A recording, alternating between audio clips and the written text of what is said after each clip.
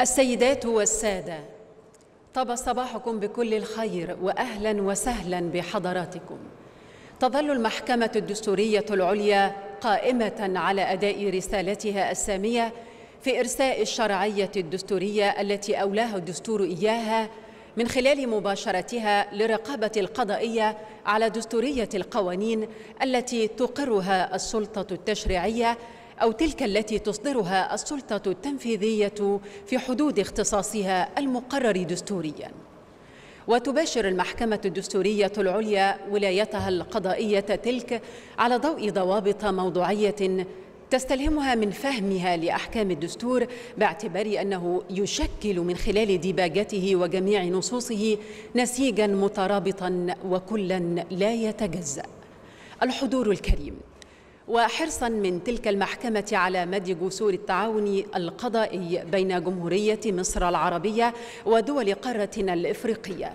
نشأت فكرة هذا الاجتماع رفيع المستوى لرؤساء محاكم الدستورية والمحاكم العليا والمجالس الدستورية الأفريقية والذي تبناه منذ نشأته برعاية فخامة السيد رئيس الجمهورية الرئيس عبد الفتاح السيسي ووفر له كل سبل الدعم لنجاح أعماله. والآن نبدأ أعمال الجلسة الافتتاحية للاجتماع السادس لهذا المؤتمر بعرض فيلم تسجيلي يعرض الاجتماع منذ نشأته وصولا لعامه السادس.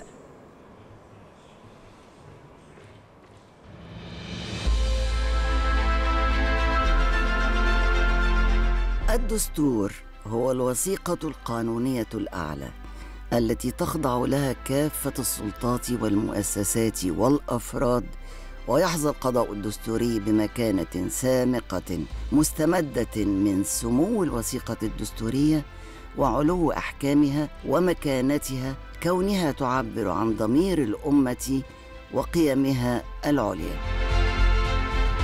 ويعد القضاء الدستوري المرجعية النهائية لمراقبة تشريعات الدولة على اختلاف درجاتها لضمان موافقتها لأحكام الدستور فهو الأمين على هذه الوثيقة العليا والقائم على تفعيل أحكامها بما يضمن توافق التشريعات المنظمة لجميع الممارسات السياسية والاجتماعية والقانونية لأحكامها وتفعيل حقوق الإنسان وتوكيد كرامته وحريته.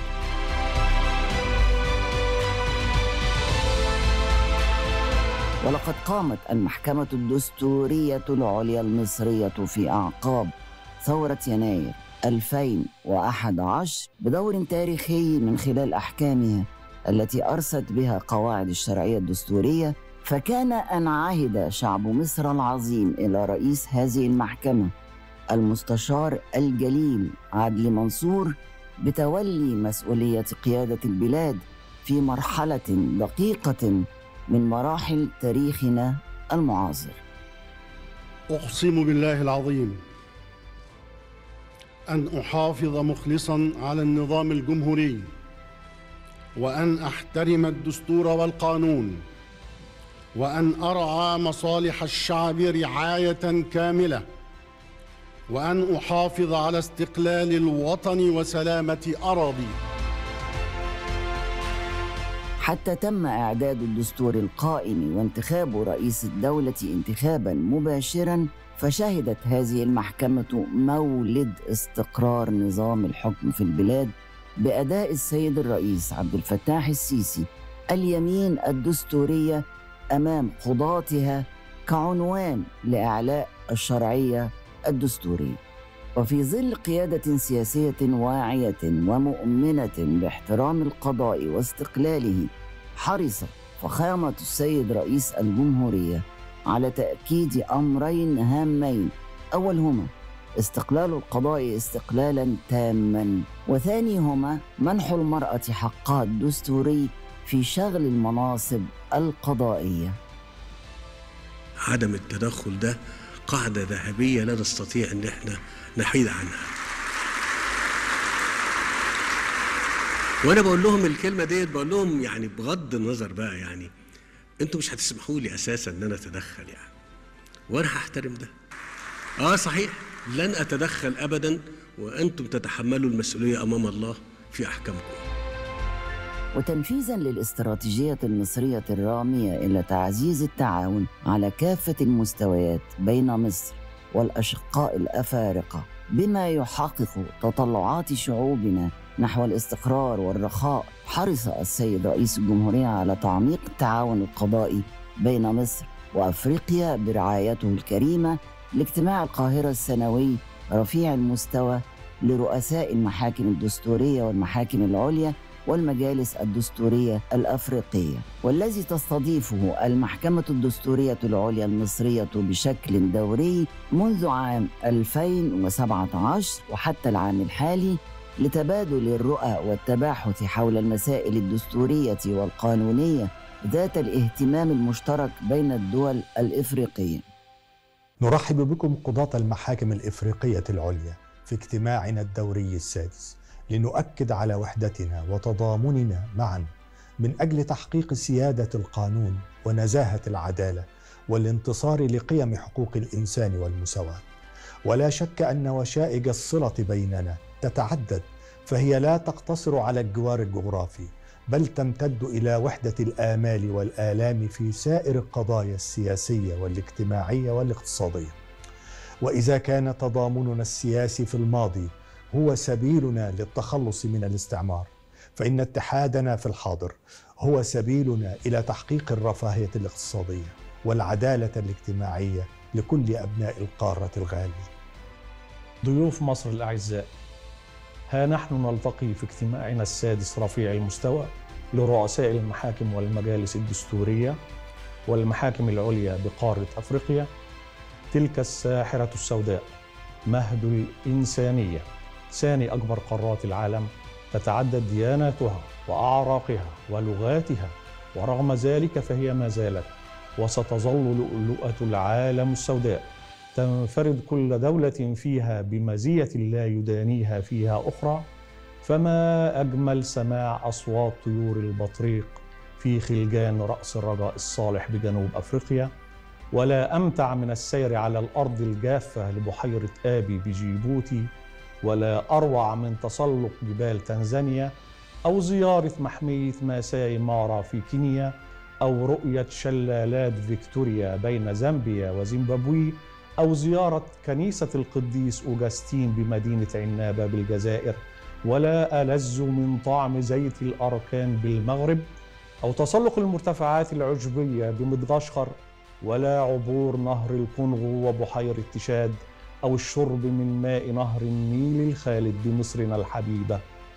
وتأتي الدورة السادسة من اجتماع القاهرة رفيع المستوى في إطار متصل بالجهود المبذولة خلال الدورات الخمس السابقة التي أفرزت إطلاق أول منصة إلكترونية تربط الهيئات القضائية الدستورية بجميع دول القارة بما يتيح تبادل الخبرات العلمية في جميع المسائل المتصلة بالعدالة الدستورية. مكللة بفخري كقاضية مصرية بما تحقق للمرأة المصرية من مكاسب في عهد سيادة الرئيس عبد الفتاح السيسي رئيس الجمهورية الذي ينعقد هذا الاجتماع رفيع المستوى تحت رعاية سيادته يشرفني أن أرحب بالسادة الضيوف الأجلاء في هذا الاجتماع الذي نستهله مستصحبين نجاحات الاجتماعات المنعقدة في السنوات الخمس الماضية ومتطلعين إلى مزيد من النجاح. وتنطلق اليوم وبمشاركة وزارة الخارجية فعاليات اجتماع القاهرة في دورته السادسة بمشاركة كريمة غير مسبوقة في الشكل والمضمون من المؤسسات الدستورية القضائية الأفريقية تحت مسمى دور الرقابة الدستورية في تنمية الشعوب الأفريقية. على نحو يدعم استقرار ورفاهية الشعوب وتمكينها من مواجهة التحديات القائمة والمستقبلية. أرحب كثيرا بضيوف مصر الأجلاء قضاة إفريقيا حماة الشرعية الدستورية والقنبي وأسجل بالفخر اشتياقنا لمطالعة رؤاكم الدستورية والقانونية المقدرة كمثل اشتياق أرضنا الطيبة للقاء نيلها الخالد. وأتطلع في ثقة إلى نجاح اجتماع القاهرة رفيع المستوى لرؤساء المحاكم الدستورية والمحاكم العليا والمجالس الدستورية الإفريقية في دورته السادسة. لما في نجاحه من انعكاس أكيد على مواجهة التحديات المعاصرة لقارتنا الأبية. أهلا بكم في مصر.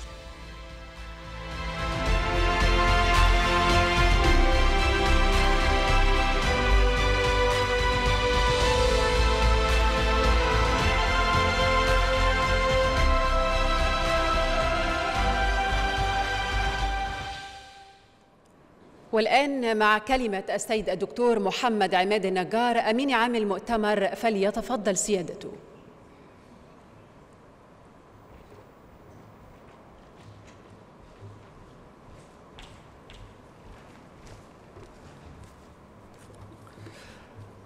سعادة المستشار الدكتور حنفي جبالي رئيس مجلس النواب. سعادة المستشار عبد الوهاب عبد الرازق رئيس مجلس الشيوخ. سعادة الدكتور مصطفى مدبولي رئيس مجلس الوزراء. سعادة السفير سامح شكري وزير الخارجية. سعادة المستشار عمر مروان وزير العدل. أصحاب السعادة قضاة المحاكم الدستورية والمحاكم العليا والمجالس الدستورية الإفريقية حراس العدالة والأمناء عليها على وثائقها الدستورية. الحضور الكرام نرحب بكم جميعا في اجتماعنا السادس في بلدكم الثاني مصر.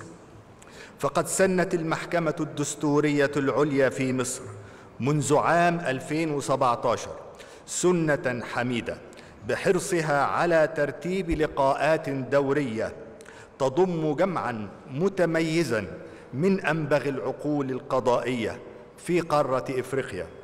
يجمعهم نزاهة الغرض وسلامة القصد ودعم استقرار قيم العدالة والمساواة وتوطيد دعائم الشرعية الدستورية وتوثيق الديمقراطية وتعظيم قيم حقوق الإنسان.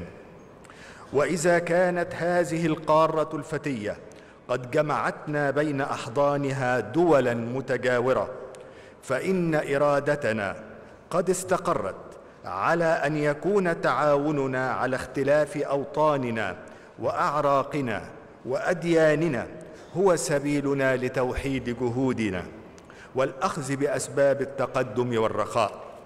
ولهذا كان اجتماعنا اليوم لنتباحث ونتداول في مستجدات قضايانا الدستورية بغية الوصول إلى أفضل الحلول والاستفاده من مخزوننا الحضاري التليد. وإذ ينعقد هذا الاجتماع في ظل ظرف تاريخي خاص تواجه فيه بلادنا كسائر بلاد العالم متغيرات عديدة استجدت في أعقاب التوترات الدولية المتعددة في اصقاع الكرة الأرضية. تلقي بتداعياتها على سائر بلاد القارة عبئا كبيرا في مواجهتها. وإذا كان ضميرنا الوطني يستوجب منا جميعا أن نعمل في حدود تخصصنا على تجاوز هذه الضائقة وتقديم الحلول القانونية التي تساعد على تجاوز هذه الأزمة. لذا كان اجتماعنا اليوم الذي نتحلق حوله مخصصا لتبادل الخبرات بشأن هذه المستجدات. وإذ كانت التنمية الاقتصادية هي الهدف الأسمى وهي طوق النجاة وأمل شعوبنا الأبية في الانطلاق إلى غد مشرق. وسبيلها لتجاوز الصعوبات. ومن هنا كان اختيارنا لعنوان هذا الاجتماع دور الرقابة الدستورية في تنمية الشعوب الإفريقية. ونعتقد نحن قضاة المحاكم الإفريقية العليا أن الدستور يقدم لنا مفاتيح الانطلاق إلى آفاق الرحبه يتضافر فيها البعد الدستوري مع كافة جهود دولنا على كافة الأصعدة. فالدستور هو الذي يرسم معالم الاستقرار القانوني الذي يهيئ البيئة الخصبة لدوران عجلة الاقتصاد. ومبادئنا القضائيه هي التي تفعل هذه الأحكام الدستورية.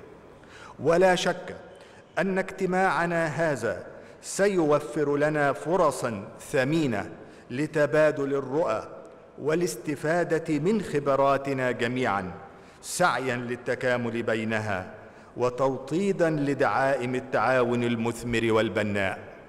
وختاما فإنني أتقدم ببالغ الشكر والتقدير إلى سيادة رئيس الجمهورية على رعايته هذا الاجتماع.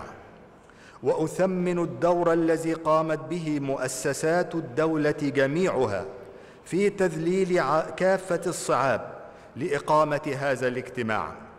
وأخص بالشكر الوفير وزارة الخارجية على قيامها بكافة إجراءات التنسيق والتنظيم لهذا الاجتماع منذ اللحظة الأولى وحتى خروجه على هذا النحو.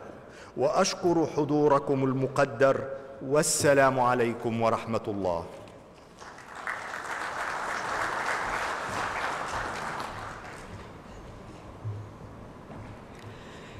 والآن كلمة معالي السيد المستشار بولس فهمي رئيس المحكمة الدستورية العليا فليتفضل معاليه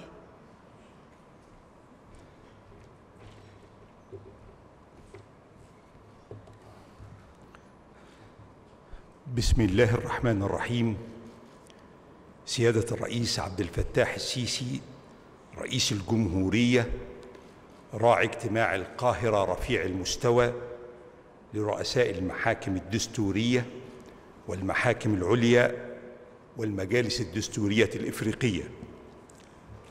صاحبي المقام الرفيع المستشار الدكتور حنفي علي جبالي رئيس مجلس النواب والمستشار عبد الوهاب عبد الرازق رئيس مجلس الشيوخ. دولة الأستاذ الدكتور مصطفى مدبولي رئيس مجلس الوزراء. معالي السفير الموقر سامح شكري رئيس وزير الخارجية. معالي المستشار الجليل عمر مروان وزير العدل. السادة رفقاء الدرب قضاة المحاكم الدستورية والمحاكم العليا والمجالس الدستورية الإفريقية.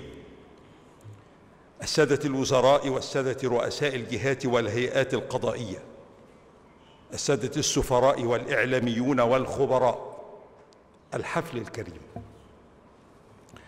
يطيب لي بالنيابة عن المحكمة الدستورية العليا المصرية وبالأصالة عن نفسي أن أتقدم بالشكر العميق والتقدير الجزيل للقيادة السياسية في بلادي لإيلائها دعما مشهودا ورعاية باذلة لكافة دورات اجتماع القاهرة رفيع المستوى لرؤساء المحاكم الدستورية والمحاكم العليا والمجالس الدستورية الإفريقية.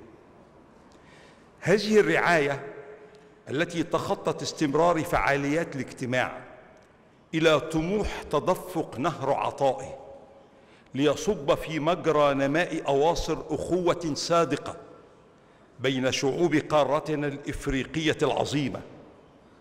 فتحية إعزاز وامتنان لهذه القيادة الرشيدة التي ما أعوزها مطلقا سبل مواجهة أي تحد ينال من وحدة صف الشعوب الأفريقية.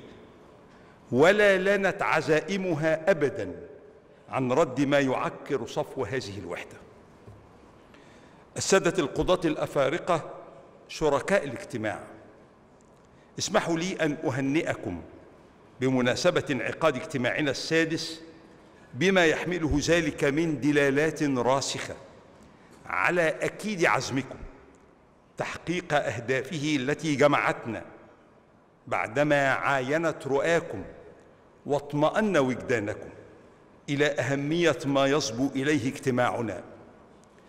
من إسهامات دستورية وقانونية تتغير ضمان حقوق وحريات شعوب قارتنا والارتقاء بها إلى مصاف مسيلاتها في الأمم الناهضة. السادة القضاة الأفارقة شركاء الاجتماع. إنه حقا وصدقا لا يمارى في أهمية النتائج التي خلصت إليها الاجتماعات الخمسة الماضية. وما شهدته من توافق تام للمشاركين فيها حول مسائل تحظى بأهمية بالغة على كل الأصعدة. ذلك أن مكافحة الإرهاب والفساد بكل صوره ومقاومة الهجرة غير المشروعة وحماية البيئة وتحفيز الاقتصاد الأخضر ودعم الرقمنة إنما هي قضايا مؤثرة شهدت عصفا ذهنيا مقدرا. بين رواد ثقافات دستورية وقانونية متنوعة تمتد جذورها إلى روافد محلية وعالمية فألهمت أولي الأمر في دولنا من مشرعين وتنفيذيين آراء جادة فاعلة في تطوير العديد من مناحي حياة الشعوب الإفريقية. السادة القضاة الأفارقة شركاء الاجتماع. كان لزاما علينا بعدما أرسيتم معنا أوتادا نظرية واطرا فلسفية لهذا الاجتماع غدت تخوما لإدارة فعالياته أن نخطو خطوا جديدا نحو بلوغ غايته الأسمى ألا وهي تنمية الشعوب الإفريقية. هذه القضية التي اتخذناها عنوانا ومرجعا يتآوى إليه اجتماعنا في دورته السادسة. فقدرنا أن المواطنة وحقوق المهاجرين واللاجئين والخصوصية الثقافية للشعوب الإفريقية وحقوقها في مواردها الطبيعية المشتركة والتنمية الاقتصادية من منظور اجتماعي إنما هي موضوعات تتعاضد لتكون نسيجا واحدا ينضوي تحت مفهوم تنمية الشعوب الإفريقية. السادة القضاة الأفارقة شركاء الاجتماع. لم يعد بوسعنا التربص بأنفسنا دورة كاملة حتى يلتقي عقدنا حول ما اجتمعنا على تحقيقه. فلا ريب أن الظروف المعاصرة التي تجتاح العالم بأسره وإفريقيا في القلب منه. توجب علينا تبادل الرؤى الدستورية وتداول الأفكار القانونية فيما يعرض من مسائل لا تحتمل إلا انجازا انيا. ولذا فقد تراءى للجمعية العامة للمحكمة الدستورية العليا المصرية إنشاء ملتقى بحثي بمسمى المركز الإفريقي للبحوث الدستورية والقانونية. يشرفني أن أعرض أهدافه التفصيلية وأدوات تنفيذه ووسائل إدارته في إحدى جلسات عمل الاجتماع. متوخيا من ذلك أن يكون إنشاء هذا الملتقى البحثي تطبيقا عمليا للرؤى التي يفرزها اجتماعنا في دورته السادسة. السادة القضاة الأفارقة شركاء الاجتماع إن شعوب قارتنا تتطلع إليكم مؤمنة بانتمائكم مقدرة جهدكم. لذا فإنها تجيل أبصارها نحو اجتماعكم لترى ما تقدمونه لها من رؤى دستورية وقانونية تحقق لها غايته المعلنة كما تصيخ أسماعها حين تعلنون توصياته الختامية. لعلها تجد فيها ما يطمئنها إلى أن اجتماعكم صار بحق رافدا من روافد نهضتها ونموها وتقدمها. الساده الأجلاء الحضور الحفل الكريم ختاما أسأل العلي القدير أن يرشدنا إلى تحقيق ما ينفع شعوبنا الأبية مع شكري لجميعكم على حسن استماعكم والسلام عليكم ورحمة الله وبركاته.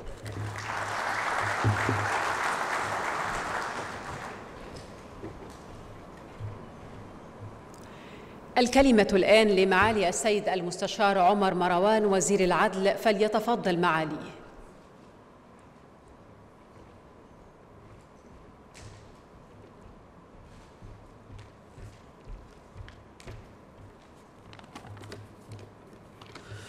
بسم الله الرحمن الرحيم.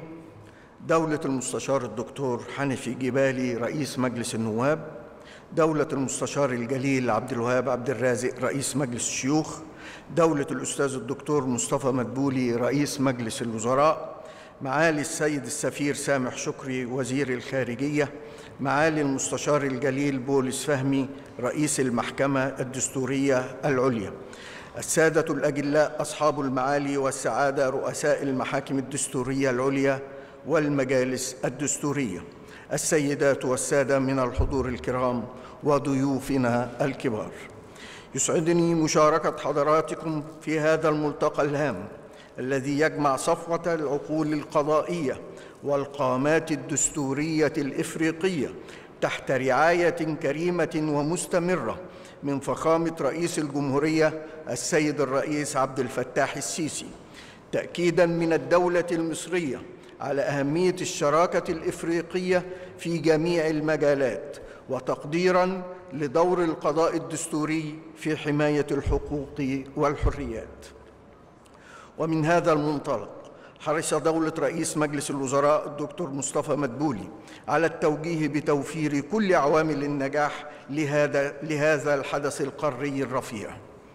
السيدات والسادة، بات التعاون القضائي بين بلدان القارة ضرورة تفرضها التحديات المشتركة التي تواجهنا. وعلى رأس هذه التحديات عملية التنمية الشاملة بحسبانها معبرا للرخاء والاستقرار بما تحققه من زيادة فرص العمل ورفع مستوى المعيشة وتوفير الحياة الآمنة والحق في تنمية الشعوب هو عنوان لهذا الاجتماع وهذا الحق من الحقوق الجماعية الذي يكفل للجميع المشاركة فيه والاستفادة من عوائده في إطار من العدالة والمساواة والإنصاف. ومن ثم فهذا الحق على تماس بحقوق أخرى مثل المواطنة والعدالة الاجتماعية وحسن استغلال الموارد الطبيعية والبيئة الصحية. وهو ما حدا بكثير من العهود والمواثيق الدولية والوطنية أن ترصد لهذا الحق مكانة متقدمة بين نصوصها وأن يكون للقضاء الدستوري دور بارز في تنظيمه وحمايته من أي معوقات ضد تفعيله أو محاولات للإخلال بجوهره. فتنطلق الشعوب نحو التنمية في سياج من الشرعية الدستورية. السادة الحضور يأتي هذا الاجتماع الرفيع في دورته السادسة بعد أن أصبح تقليدا تحرص على المشاركة فيه معظم الدول الإفريقية ليعالج قضايا غاية في الأهمية تتميز بالتنوع والشمول ولا تنفصل عن واقع الحال الذي نعيشه. ولا يفوتني في هذا المقام أن أشير بكل تقدير واحترام إلى دور المحكمة الدستورية العليا المصرية وشيوخها الأجلاء السابقين والحاليين في وضع حجر الأساس وتطوير هذا المحفل رفيع المستوى عاما بعد عام كمنظومة قاريه للقضاء الدستوري وآلية فعالة لوضع بنية قانونية وقضائية متجانسة.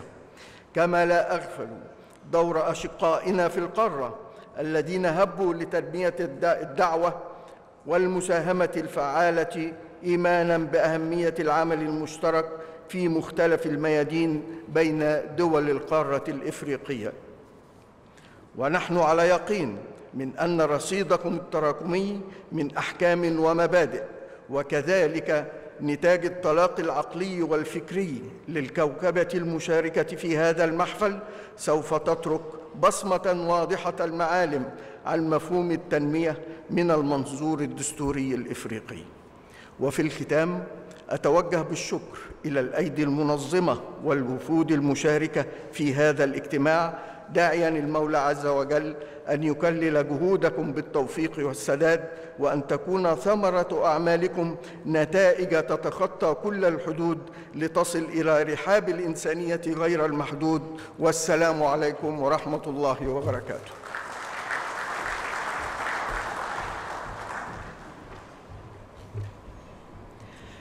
الآن مع كلمة معالي السيد الدكتور مصطفى مدبولي رئيس مجلس الوزراء فليتفضل معالي.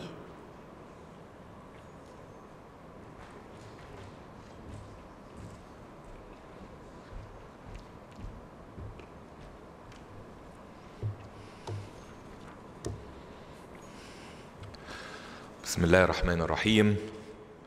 دولة السيد المستشار الدكتور حنفي علي جبالي رئيس مجلس النواب دولة السيد المستشار عبد الوهاب عبد الرازق رئيس مجلس الشيوخ معالي السيد المستشار الجليل بولس فهمي رئيس المحكمة الدستورية العليا معالي السيدات والسادة الوزراء ورؤساء المحاكم الدستورية والمحاكم العليا والمجالس الدستورية الأفريقية السيدات والسادة الحضور الكريم السلام عليكم ورحمة الله وبركاته.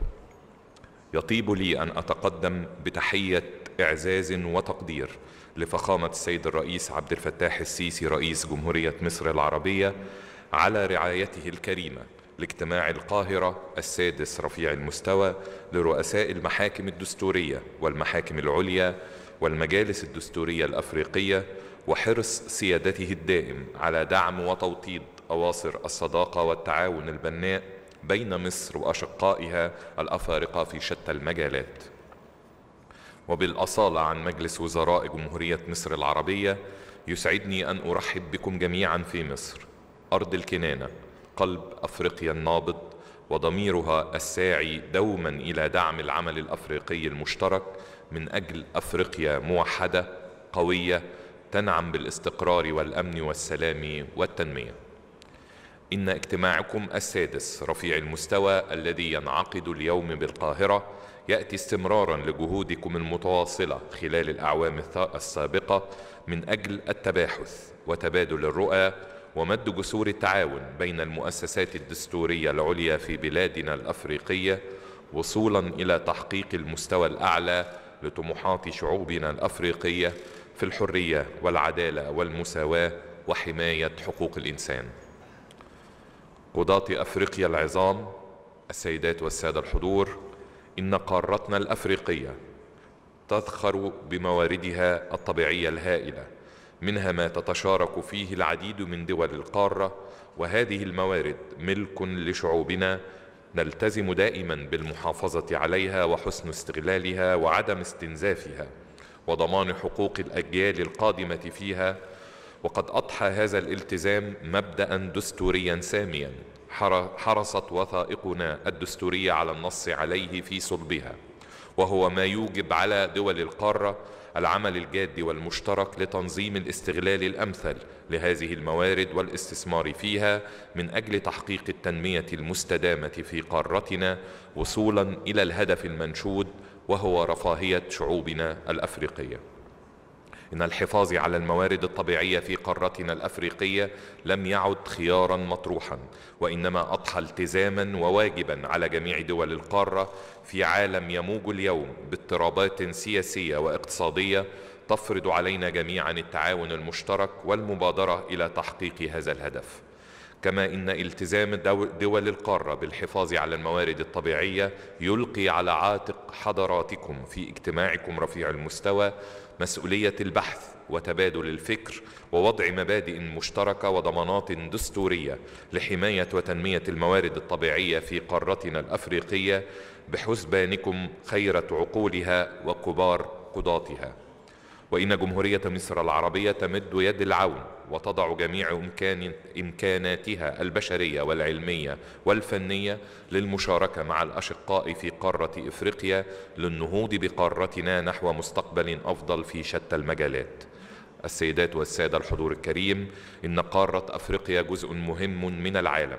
وإن التحديات التي يواجهها العالم اليوم تفرض علينا التفكر والتدبر بصورة جماعية لمواجهة تلك التحديات من منظور قانوني ودستوري وذلك للحد من الآثار السلبية للنزاعات الدولية على اقتصاديات بلادنا الأفريقية لكي تواصل دولنا قدرتها على تحقيق النمو الاقتصادي والقيام بدورها في حماية مقدرات شعوبها ودعم ورعاية الفئات الأكثر احتياجا تحقيقا للمبدأ الدستوري الأسمى وهو العدالة الاجتماعية. السادة الأجلاء قضاة أفريقيا إن نجاح اجتماعاتكم الخمسة السابقة وما أسفرت عنه من نتائج إيجابية نحو تطوير العمل القضائي المشترك في قارتنا الإفريقية يعطي لنا الكثير من الثقة في نجاح اجتماعكم السادس في تحقيق أهدافه المرجوة وإننا نتطلع مع شعوبنا الأفريقية لنجني ثمار اجتماعكم الكريم ويحدون الأمل في مزيد من التعاون من أجل أفريقيا. مع تمنياتي لكم بالتوفيق وطيب الإقامة في بلدكم الثاني مصر. والسلام عليكم ورحمة الله وبركاته.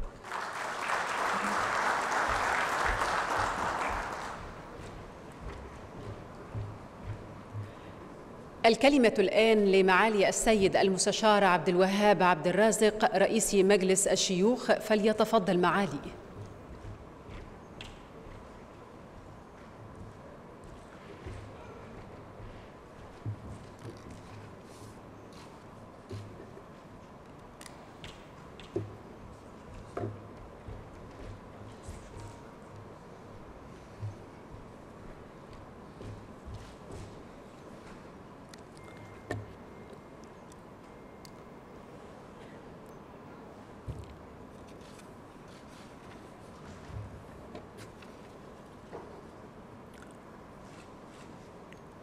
بسم الله الرحمن الرحيم.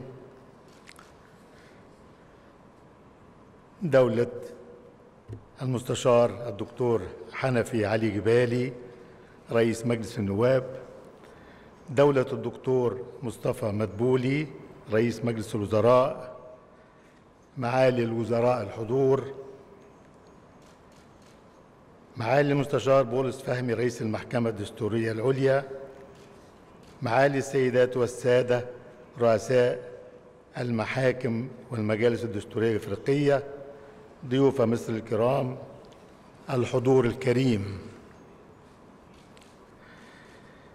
أنه لمن دواعي الشرف والامتنان أن أقف بينكم اليوم لنشهد معا بناء جديدا في صرح مؤتمرنا الذي بكم وبحمد الله تعالى ورعاية كريمة من القيادة السياسية المصرية الواعية صار رمزا ونبراسا وشاهدا على إرادة صلبة لأبناء أفريقيا اجتمعت فيه كلمتهم على أن تكون مداولاتهم هي جوهر لقاءاتهم والإخلاص والرغبة الأكيدة في إيجاد الحلول وتبادل الرؤى والمشورة هي رائدهم ومن ثم لم يعد مستغربا أن يكون النجاح حليفهم. الحضور الكريم لا يفوتني في هذا المقام. أن أتقدم بأسمى آيات الشكر والعرفان. لكل من ساهم وحرص على انعقاد هذا المؤتمر ونجاحه. وعلى الرأس منه فخامه رئيس الجمهورية الرئيس عبد الفتاح السيسي وتوجيه سيادته بالتعاون القضائي الدائم على المستوى القاري من خلال تكوين منظومة قارية للقضاة وإطلاق منصة إلكترونية تحوي دساتير الدول والأحكام الدستورية الصادرة عن كل دولة ودور معالي السفير سامح شكري وزير الخارجية والذي كان له دور رائد وبناء منذ اللحظة الأولى في فكرة انعقاد هذا المؤتمر. ومعالي وزير العدل المصري سعادة المستشار عمر مروان الذي لا يألو جهدا لدعم المنظومة القضائية على المستويين المحلي والقاري والأخوة الأعزاء الزملاء رئيس ونواب رئيس المحكمة الدستورية العليا المصرية سواء من شرف المؤتمر بالحضور أو غاب عنه جازاهم الله خيرا عن وطنهم وقارتهم ومحكمتهم. السادة الحضور تمنياتنا لحضراتكم بطيب الإقامة في بلدكم مصر. وأن تنقلوا لأهلنا وأحبائنا في بلادكم أن مصر عازمة على أن تبقى كالعهد بها دائمة رافعة ذراعيها لترحب وتحتضن كل إفريقي مخلص وكل جهد بناء يرفع من شأن قارتنا الغالية. وفقكم الله دائما وسدد على طريق العدل خطاكم وبارك في جمعكم وإلى لقاء يتجدد بإذن الله. والسلام عليكم ورحمة الله وبركاته.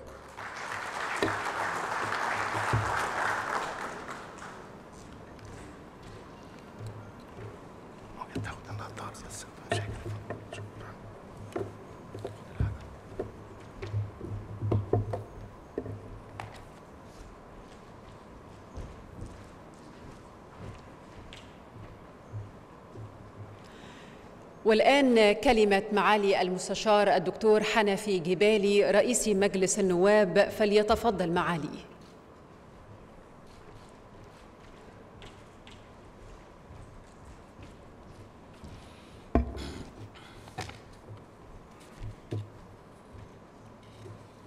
بسم الله الرحمن الرحيم. معالي المستشار بولس فهمي رئيس المحكمة الدستورية العليا المصرية. أصحاب المعالي رؤساء المحاكم والمجالس الدستورية والعليا الأفريقية ضيوف مصر الكرام السيدات والسادة الحضور. اسمحوا لي في مستهل كلمتي أن أرحب بكم أخوة أعزاء في بلدكم مصر التي تفخر بانتمائها الأفريقي. كما أود أن أعبر عن بالغ تقديري واعتزازي بوجودي بينكم في هذا المحفل القضائي القاري المرموق والذي يشكل بحق منصة قضائية رفيعة المستوى تعقد تحت رعاية جليلة لفخامة الرئيس عبد الفتاح السيسي رئيس جمهورية مصر العربية والتي أضحى اجتماعها الدوري علامة فارقة في ترسيخ وتعزيز تعاوننا القضائي الأفريقي. وأتقدم بخالص الشكر والتقدير لمعالي الأخ الفاضل المستشار بولس فهمي رئيس المحكمة الدستورية العليا المصرية على دعوته الكريمة وحسن التنظيم والاستقبال. كما لا يفوتني أن أتقدم بوافر الشكر إلى دولة المستشار الجليل عبد الوهاب عبد الرازق الرئيس الأسبق للمحكمة الدستورية العليا. ورئيس مجلس الشيوخ المصري والسيد المستشار الدكتور عادل عمر شريف والذي تولى مهام الأمانة العامة للنسخ السابقة من الاجتماع. وهما صاحبة فكرة عرض تنظيمه على فخامة السيد رئيس الجمهورية. ونتذكر الدور المقدر لمعالي المستشار الجليل الراحل سعيد مرعي الرئيس السابق للمحكمة الدستورية العليا الذي تولى وترأس النسختين الرابعة والخامسة من اجتماعنا هذا والذي شرفت برئاسة نسخته الثالثة وأفخر أنها شهدت تحولا نوعيا إذ تم فيها إطلاق المنصة الرقمية المعلوماتية للاجتماع السنوي التي تساعد على تبادل الأفكار والخبرات وتسهل من التواصل الدائم بين رؤساء وقضاة المحاكم والمجالس الدستورية والعليا الأفريقية. والشكر موصول لسيادة المستشار الدكتور محمد عماد النجار أمين عام اجتماعنا الحالي. وكل التقدير للدور المتميز لوزارة الخارجية المصرية ممثلة في الوكالة المصرية للشراكة من أجل التنمية بالتعاون البناء مع كل الأجهزة والمؤسسات ذات الصلة. ولا يفوتني أن أتوجه بخالص الإعزاز والتقدير لدور وزارات العدل والمالية والاتصالات بتوجيه وإشراف دائم ومقدر من دولة الأستاذ الدكتور مصطفى مدبولي رئيس مجلس الوزراء.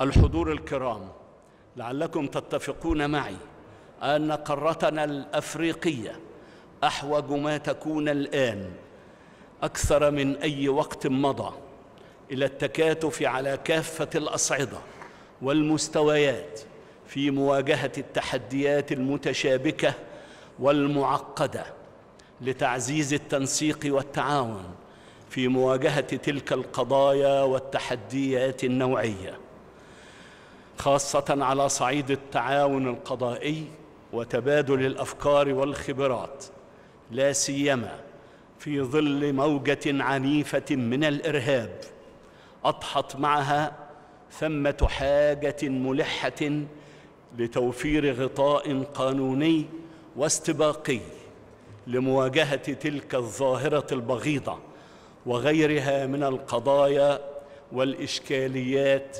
التي نحمل على عاتقنا جميعا مواجهتها.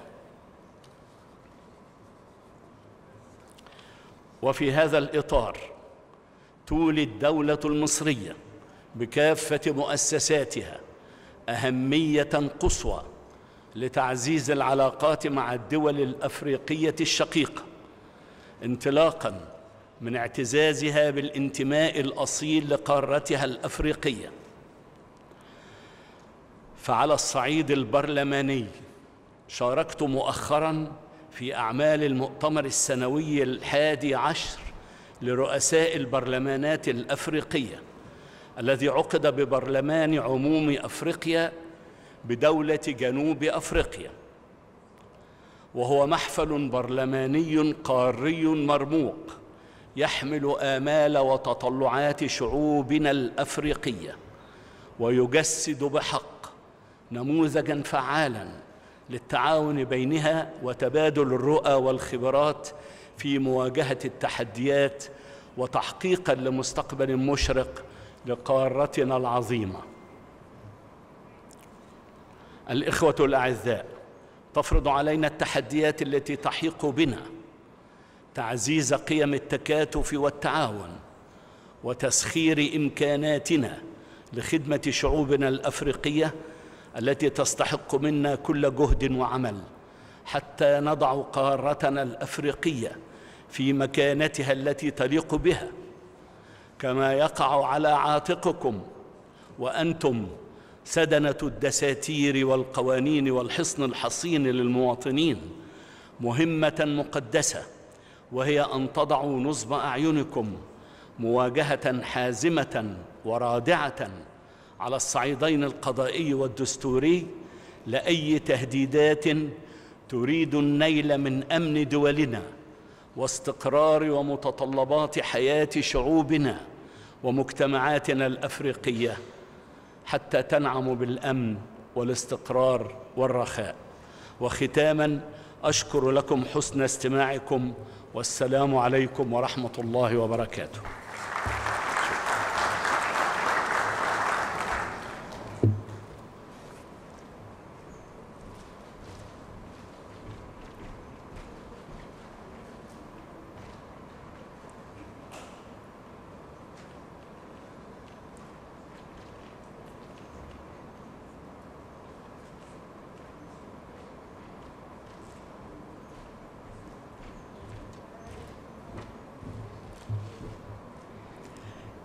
الحضور الكريم. تظل المحاكم والمجالس الدستورية والعليا حول العالم عينا تحرس القانون وتبقى ضمانة حقيقية ومؤكدة لكل المواطنين من أجل حماية حقوقهم وحرياتهم فالأوطان بخير ما بقيت العدالة والقضاء بخير. وقد وصلنا لختام أعمال الجلسة الافتتاحية لاجتماع القاهرة السادس رفيع المستوى لرؤساء المحاكم الدستورية والمحاكم العليا والمجالس الأفريقية. شكرا جزيلا لوجودكم معنا.